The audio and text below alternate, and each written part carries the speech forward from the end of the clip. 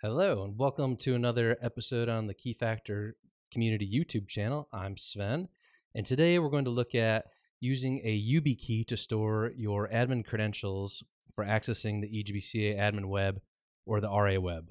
So let's hop into the tutorial and get started. So we're going to be following along on the docs we did online on the doc.primekey.com for using a YubiKey with OpenSC and the YubiKey Manager. And we're going to be doing this on a Mac to actually show you installing these pieces on the Mac and setting it all up. So we'll hop over to GitHub here, where we're going to download the latest OpenSC, and then we'll download this DMG. And then when that comes down, we're going to install that onto the Mac here. Let's go open that up and drag the window over. There we go. And we'll click on that and try to install it. And oops, all right, we don't trust it. So what do we do? Let's go into click OK.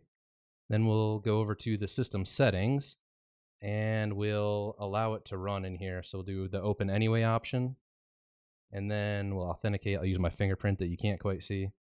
And then now we'll click the open button and close the system tools there. And we can begin the install. So we'll click the continue and then the install it goes. We'll authenticate again using the fingerprint. I'm just going to write this in and it does the install. Okay, we'll click close. Close. All right. And then, yes, we're going to throw it away because we don't care and move to trash. There we go.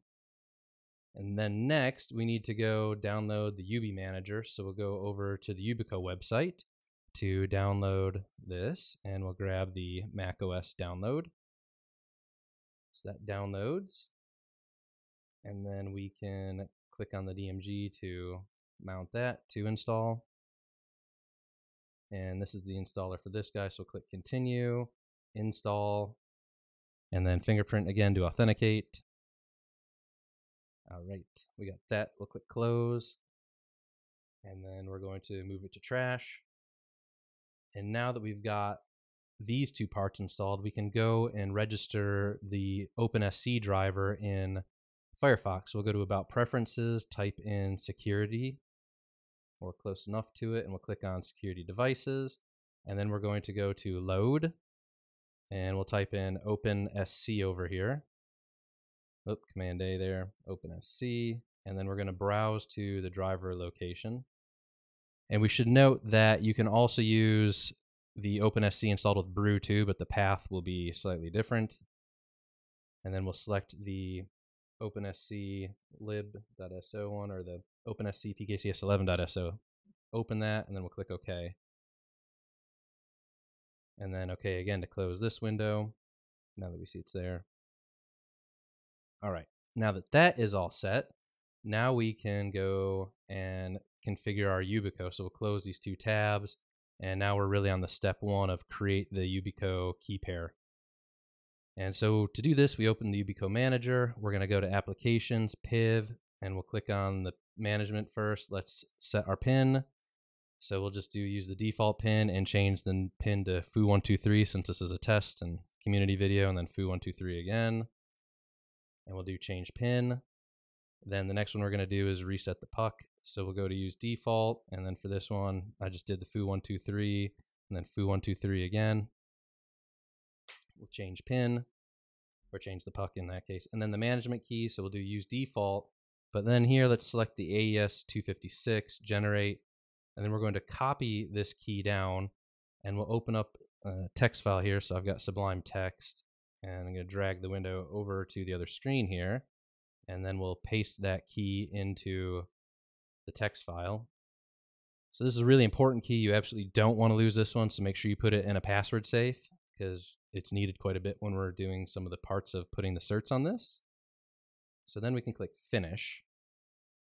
Now we've got that recorded and we'll go back to the main PIV part here and we'll go to certificates now. And then we're going to use the authentication slot and we're going to use a CSR and then we'll select the P256 option. So we'll do next, and then we can change the subject to let's do something like administrator, international PKI man of mystery, do something fun. but you know, obviously this would be your username credential you'd want to use within the PKI.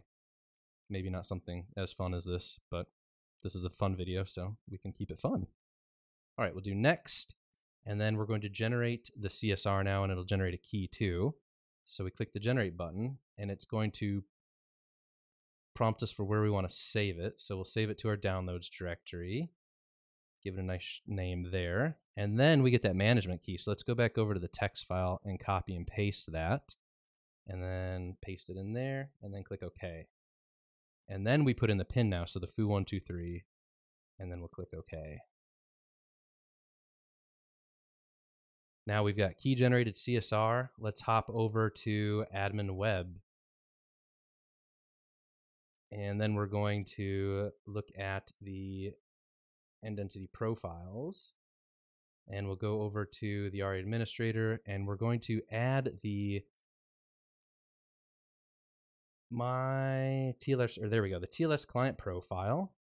And we'll add that into this one as well. And then we'll also allow the my sub CA to this End Entity profile too. That's because we're going to use elliptic curve and not RSA. Now we'll go to RA Web, we'll do make new request, and we're going to select the RA administrator. Then we'll select our TLS client profile and do the option to provide by user. We'll click browse to grab my CSR that we generated from the YubiKey, click open. And now we can go down and copy the common name because I'll just use that for the same as the username. So grab that guy, Command C and then Command V to paste that in since we're on the Mac. And then we'll go down and download the PEM certificate after we look and see that it's issued with the EC CA that we did. So we'll download PEM.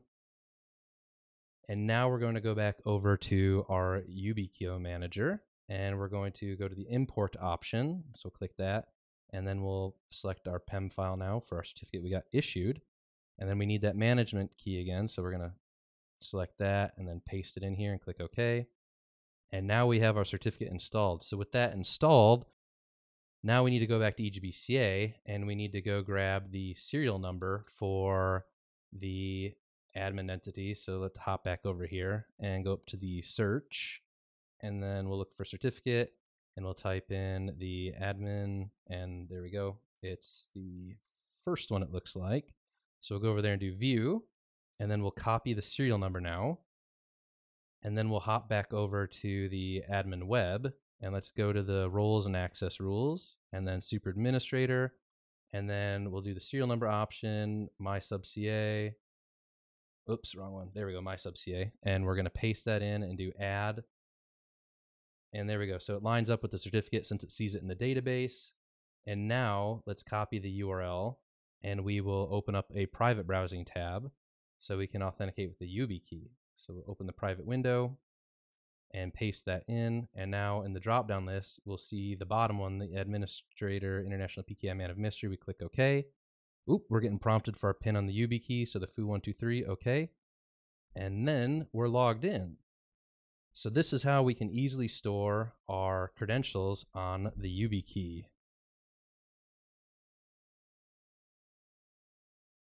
And that wraps up our video. So it's that easy to be able to use the YubiKey installing the OpenSC and the YubiTool Manager on a Mac to install. So one thing I can note too is I did try with RSA and I was not able to get that working with the YubiKey on the Mac. We were getting some kind of TLS checksum issue. Not really sure what that was about. And I didn't have enough time to look at it, but I was thrilled that I got it working with the elliptic curve. So now you can easily go through and secure your credentials on a YubiKey, and I hope you start doing that for all your EGBC deployments in production. All right, guys, have a good day. Take care.